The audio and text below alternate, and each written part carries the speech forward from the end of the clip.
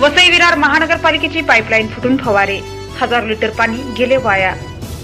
वसई विरार महानगरपालिकेच्या भोयदापाडा आश्रमाच्या समोर वसई पूर्व वसई विरार महानगरपालिकेची जलवाहिनी फुटून लाखो लिटर पाणी वाया जात आहे.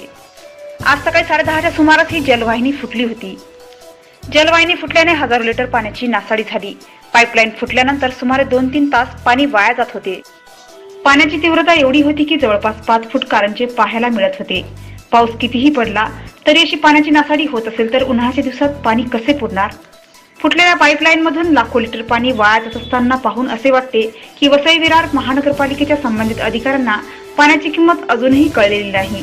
महावाईसाठी एच एस दसोनी वसई. इथे आहे मी इथेच राहते आणि चार पाच तास झाले तिथे महानगरपालिकेचा पाईपलाईन फुटलेला आहे आणि पाणी इतकं वाया चाललंय वेस्ट पाणी आहे. आश्रमच्या समोरच आहे. काय इकडचं ॲड्रेसचं नाव आहे? मा हा मांगुलपाडा काहीतरी आहे. पण इथे पाणी वेस्ट चाललंय ना महानगरपालिकेचं. ह्याचं काहीतरी केलं पाहिजे तुम्ही. काय बोलणार तुम्ही महानगरपालिकेला याच्याबद्दल? ह्याच्याबद्दल हेच बोलायचं आहे की तुम्ही असं पाणी वेस्ट जाण्यापेक्षा तुम्ही लक्ष द्या ह्या गोष्टीकडे काहीतरी. असं वेस्ट नाही केलं माणसांना घरात पियायला पाणी भेटत नाही आणि असं वेस्ट होणार पाणी.